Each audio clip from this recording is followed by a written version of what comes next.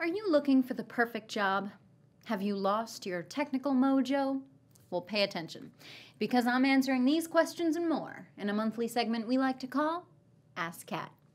I'm Cat Miller, and this is Dice TV.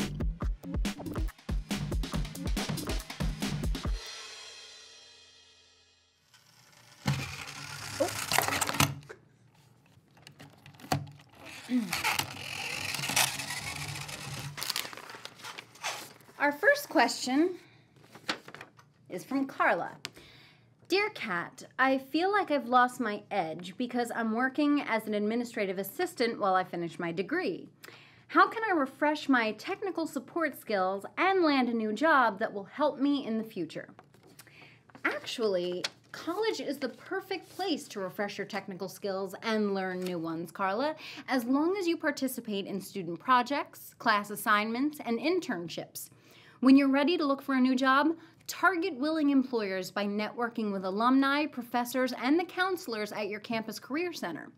In your resume, be sure to highlight your technical and non technical experience because having diverse skills will give you an edge in the marketplace.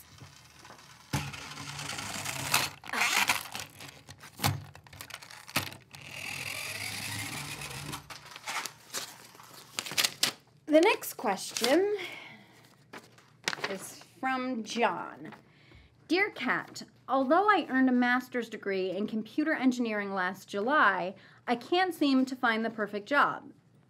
I'm not targeting a particular company or customizing my resume. Could this be part of the problem?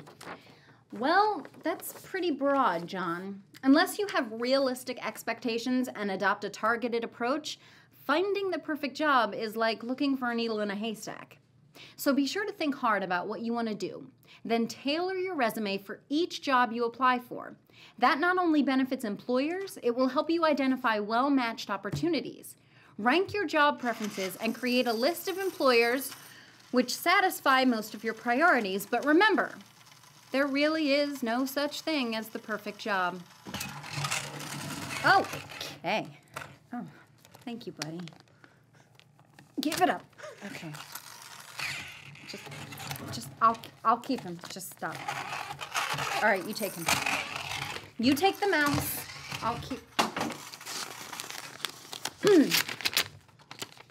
it's fine. And William writes, Dear Cat, I just watched your video about creating a forward-looking resume. Oh, thank you.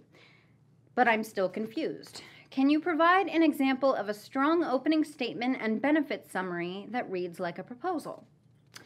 I hope these help. Remember to highlight your underutilized skills, not just the responsibilities in your job description. You can find more samples by researching resumes on the Dice blog network or get a critique by posting your resume in Dice discussions. Well, we're out of time for today, but keep sending me those questions. Just email them to me at cat at dice.com. That's cat at dice.com. I'm Cat Miller. This has been Dice TV, and we now return you to your regular desktop. Don't send that